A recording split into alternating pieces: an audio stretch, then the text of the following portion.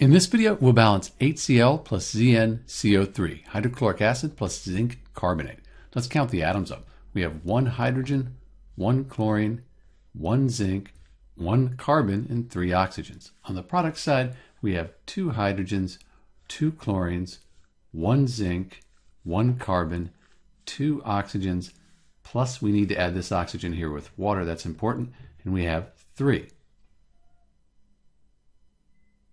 Looking at the equation, almost everything's balanced. The only thing we need to do is double the hydrogens and double the chlorines. Then it's balanced.